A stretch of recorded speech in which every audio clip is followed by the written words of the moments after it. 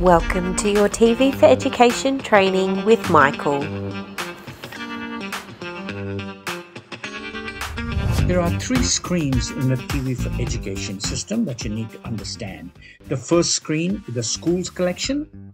This is where all the videos that uh, have been chosen by teachers to be made available to students, made available to other teachers, and made available to parents if you give parents access to it.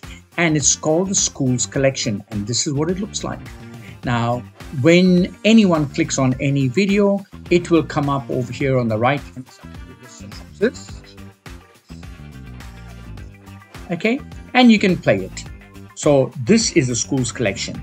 The next item is the My Items button. Every teacher and every student has a My Items button. And these are the videos that teachers have added, which have add, landed up in the school's collection, but it'll also go into their individual My Items screen. Why do we do that?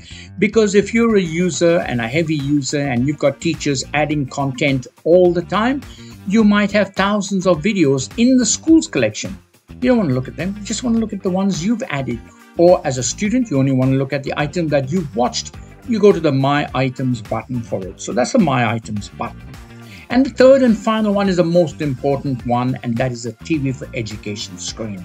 This screen is very, very important because in here you will find over 150 items in this particular screen, 150,000 items. And you can go here and you can search and you can scroll left to right. And if you want to add anything, you just click the item. And what will happen is the synopsis will come up. Okay. It will disappear.